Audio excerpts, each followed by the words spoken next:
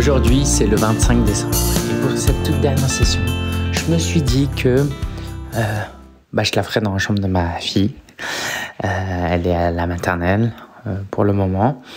Et j'aimerais te partager ce que j'aimerais qu'elle comprenne et qu'elle ressente en grandissant.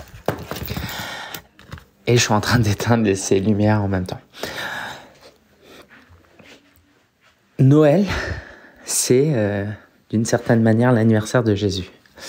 Et je me suis dit que c'était approprié, opportun pour te parler de ma foi, de ce en quoi je crois, mais surtout de euh, la Bible, de ce que ça implique euh, ou impliquerait pour toi, de comprendre le message de Noël, le vrai message de Noël.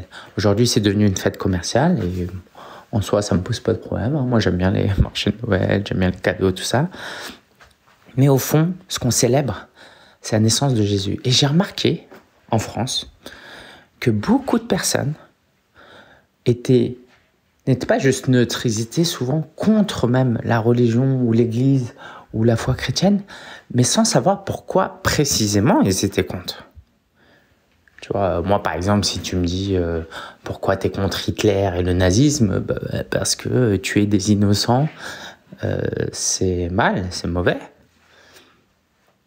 Hum, et pourtant, pour euh, tout ce qui touche à la foi, bah, c'est plus compliqué. Parce qu'il y a des choses liées à notre culture, à, notre, à des choses émotionnelles des choses qu'on aura entendues, bah voilà, quand tu entends qu'il y a des prêtres pédophiles, ça te donne pas trop envie euh, d'amener ton enfant à l'église catholique, par exemple. Euh, quand tu sais qu'il y a des guerres de religion, bah tu te dis pas, ouais, ça a l'air cool ce truc, on va s'aimer, ça va être peace and love. Euh, quand tu vois certains fanatiques des dirigeants comme Bolsonaro, Trump qui se prétendent être chrétiens, dire des absurdités et ne pas faire preuve de tolérance, euh, tu dis bon bah j'ai pas trop envie d'être euh, ça. Et franchement, je le comprends. Hum, je le comprends, je comprends et, et ça complique euh, forcément beaucoup de choses. Mais si tu me permets, c'est la recherche de vérité qui nous intéresse au plus profond de nous. Moi, ma force, mon avantage, c'est que voilà, je suis enfant d'immigré, donc j'ai pas toute cette attache euh, culturelle par rapport à mon histoire. Euh. Moi, j'ai mes ancêtres ne se sont pas entretués parce qu'ils étaient protestants et catholiques, tu vois. Euh, je suis voilà, Bolsonaro et Trump, ça n'a rien à voir avec moi. Et j'ose penser que je suis arrivé avec une certaine neutralité. Alors pas totalement, puisque moi, dès petit, mes enfants m'amenaient euh, mes enfants. ah, je suis tellement dans, dans le fait d'avoir des enfants parce qu'avec nos jumelles qui arrivent que je parle de mes parents euh, comme des enfants. Non, mes parents m'ont amené à l'église, donc ils m'ont sensibilisé à la foi chrétienne. J'ai grandi à l'église. Mais par contre, une fois étudiant, euh, quoi, ado et étudiant et plus grand, évidemment que j'ai eu des trucs du genre, bah, si tout ça c'était faux, et si tout ça c'était pas vrai. voilà, j'ai eu bien plus euh, cette prise de conscience et cette volonté de croire en ce que moi je voulais vraiment. Et j'aimerais du coup me permettre de te partager les grandes lignes du message de la Bible. Euh, pour que tu saches ce en quoi tu veux croire et ce en quoi tu veux pas croire. Alors pourquoi on parle de ça alors que c'était censé être un calendrier de l'avant pour les coachs? Alors j'ai envie de te dire techniquement c'est plus le calendrier de l'avant, on est le 25. Et puis aussi parce que j'ai envie de te dire qu'on vit à une époque où j'entends de plus en plus une fin spirituelle. Je crois que c'est Voltaire ou Pascal qui disait qu'on a dans notre cœur un vide en forme de Dieu. Et qu'on vit dans une période où les gens cherchent de la spiritualité, mais on cherche la spiritualité par opposition à ce qui existe, juste par, pour les raisons que je t'ai dites tout à l'heure.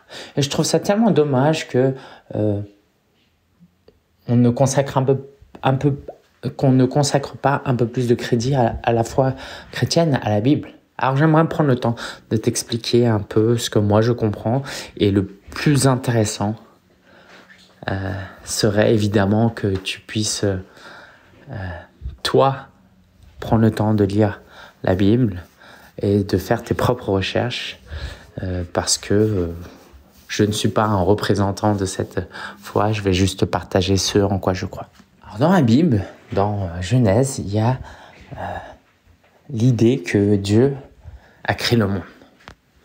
Et de manière un peu incompréhensible pour le cerveau humain, je pense, il y a cette idée qu'il nous a créé, qu'il a créé le monde et qu'il a créé les hommes à son image et qu'il nous a créé par amour pour nous.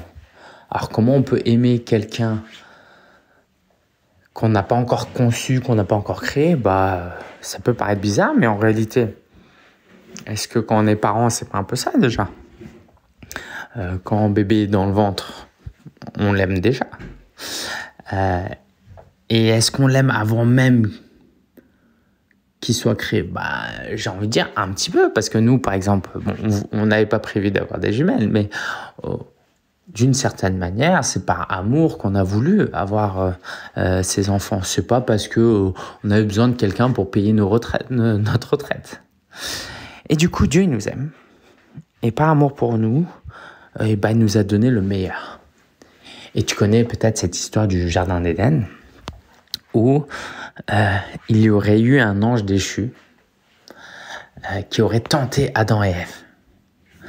Et Adam et Ève auraient, en tout cas, je dis auraient, mais moi j'y crois, hein, euh, auraient mangé le fruit défendu de la connaissance du bien et du mal, et qu'ils auraient désobéi à Dieu de cette manière. Et du coup, d'une certaine manière, ils ont pris une certaine autonomie, une certaine indépendance, mais qui a déplu à Dieu parce que ils ont désobéi à Dieu. Et que bah, Dieu étant un Dieu juste, mais aussi un Dieu d'amour, bah, il les a chassés du jardin d'Éden et ils ont porté ce qu'on peut appeler le, ce qu'on appelle le péché originel. Et que toute la descendance était tachée de ce péché originel. Ce qui fait que toi et moi, en tout cas dans cette croyance, eh ben on est, on est du verbe naître pécheur. Et tu le sens un petit peu, hein, les bébés. Euh, euh, alors, ils, sont, ils sont purs, mais dès que leur cerveau leur permet de, de faire plus de choses, eh ben, ils ont, ils n'hésitent pas, ils ne n'hésitent pas à sauter sur des opportunités de désobéir, de faire des mauvaises choses avec ou sans guillemets.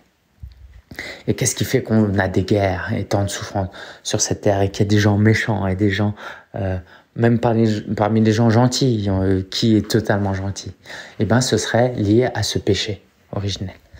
Et que ce que dit la Bible, c'est que normalement, le salaire du péché, bah, c'est la mort.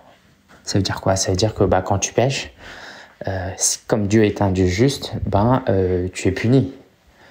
Tu vois, ce serait difficile de croire en un Dieu qui ne punirait pas quelqu'un comme Hitler.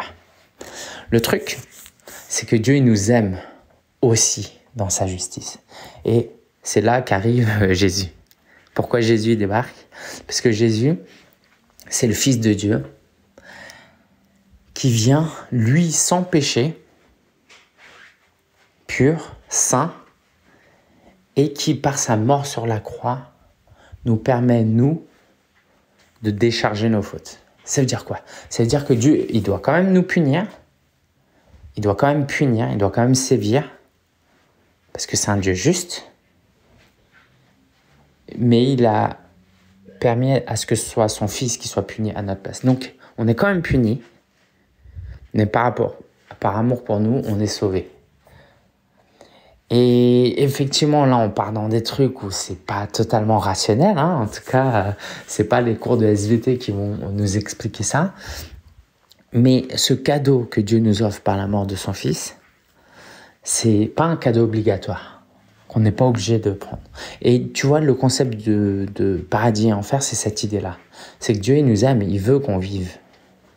Et qu'après notre mort, on peut continuer à vivre une vie éternelle si on a accepté ce cadeau. Et en acceptant ce cadeau, ben, on a Dieu en nous. On a euh, ce qu'on appelle le Saint-Esprit en nous. Qui fait que on va être un peu différent, on va avoir plus d'amour, plus de pardon, qu'on va avoir une certaine sagesse. Et juste pour répondre à, j'anticipe la question, mais attends, il y a quoi? Il y a Dieu, le Père, le Fils, le Saint-Esprit, il y a trois dieux? Non, c'est bien un seul Dieu, parce que quand Dieu a donné sa fils, son fils mourir sur la croix, qui était à la fois homme et à la fois Dieu, ben, euh, il est mort il est ressuscité. Il a souffert parce qu'il avait un corps physique, mais ça reste Dieu. Il n'a pas sacrifié dans le sens où euh, euh, il ne pouvait pas ressusciter et se récupérer entre guillemets parce que de toute façon c'est Dieu. Mais il a réellement souffert à la croix et euh, c'est pour ça que la Bible nous dit que bah, dans nos souffrances, dans nos peines, et eh ben Dieu il a, il le sait, il le vit, il a déjà vécu dans sa chair et qu'on n'est pas juste euh, des petits Playmobil qui vivent leur truc et que Dieu ne comprend pas. Voilà, euh, à partir de là, évidemment, tu crois et tu crois pas, mais au moins, tu pourras dire que tu sais en quoi tu crois et tu crois pas. Évidemment, je t'ai partagé ça avec mes mots. Je t'invite vivement à lire la Bible, à t'y intéresser. Si jamais tu as envie d'échanger, c'est pas le but de notre business, mais tu peux toujours nous envoyer un email. Et puis je te laisserai sur ce verset de la Bible qui dit que euh, dans Jean 3, 16, euh, car Dieu a tant aimé le monde qu'il a donné son Fils unique afin que quiconque croit en lui ne périsse pas, mais qu'il ait la vie éternelle. il y a d'autres passages qui disent que si tu t'adresses à lui, il te répondra. Tu peux fermer les yeux, prier Dieu, et il peut te répondre. Pas forcément de la manière dont tu l'espères, au moment où tu l'espères, mais il te répondra. Voilà, j'ai passé un super moment avec toi durant ces 25 sessions. Je te souhaite le meilleur. Euh, plein de gratitude aussi pour euh, ton soutien parce que quand je vois les téléchargements, les écoutes, bah, c'est une manière aussi pour moi et mon équipe de se sentir encouragé. Je te souhaite le meilleur et je te dis bah, à l'année prochaine pour le calendrier de l'avant. Et si tu es dans notre liste email, bah, j'ai hâte de te partager tout plein de choses, actus, astuces euh, sur euh, notre business, sur ton business de coach. Et je te dis à très bientôt.